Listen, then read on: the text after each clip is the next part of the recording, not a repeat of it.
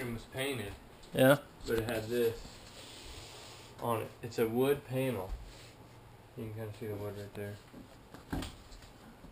But it had. Oh yeah. I mean, it's it's just it's just a wood panel. Wood panel. Okay, and they just put this. I don't know. I, I don't know how they put this uh, Wallpaper? is, This wallpaper on it, but it makes it. I mean, it makes it pretty smooth. Yeah. Now, when I first was looking at it, I didn't know what it would take to mo- remove this.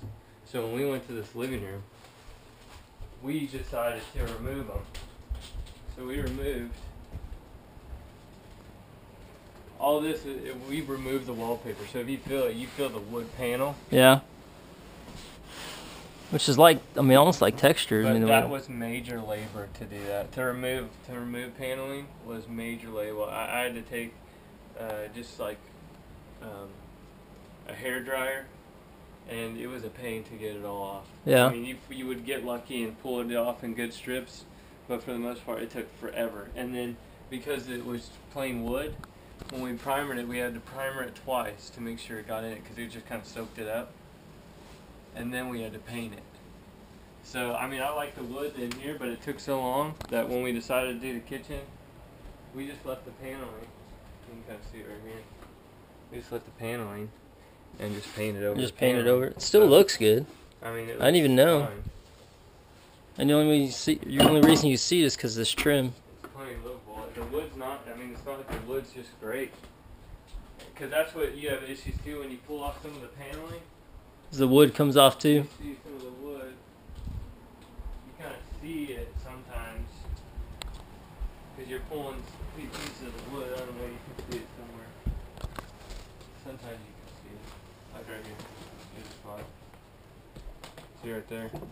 You kind of see it. Yeah. Because it got pulled out whenever you pull up the paneling. Nice.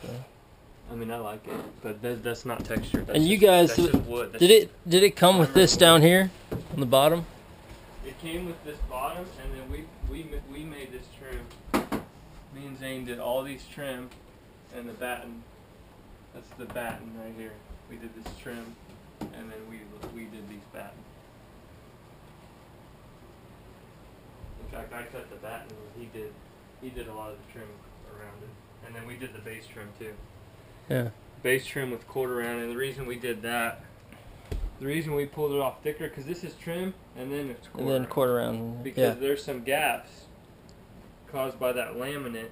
They were too lo- too big. But it looks so this fine fills now. up the gaps. Yeah. You can't tell.